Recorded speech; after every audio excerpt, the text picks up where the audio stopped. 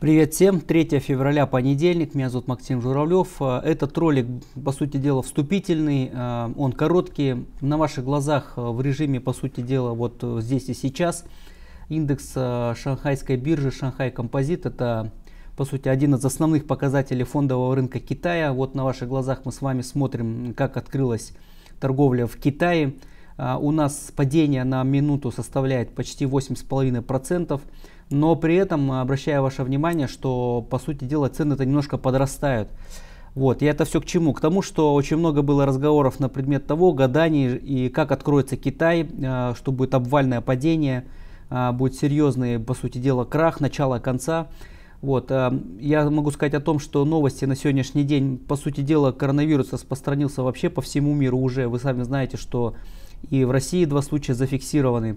Более того, а, рейтинговое агентство Moody's а, заявило о том, что а, по сути дела это черный лебедь, вот его так уже именовали, это неожиданное явление.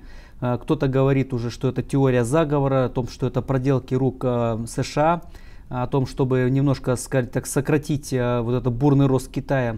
Кто-то говорит, что это заговор немножко с другой стороны, что это внутренние дела самого Китая, борьба за власть.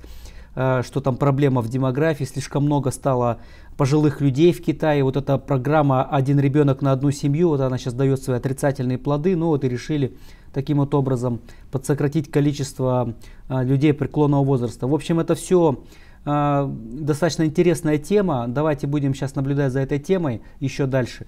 Вот. Но есть еще информация, вот такая более-менее оперативная, что вот это падение китайского рынка, вот даже то, что мы сейчас видим, вот этот гэп, на 8,5% плюс-минус, да.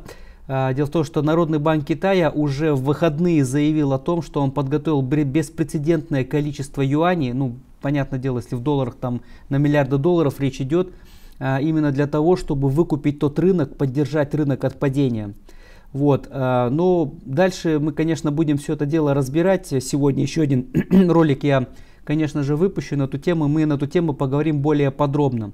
На этом пока все. Давайте будем следить. Так, ну посмотрим еще.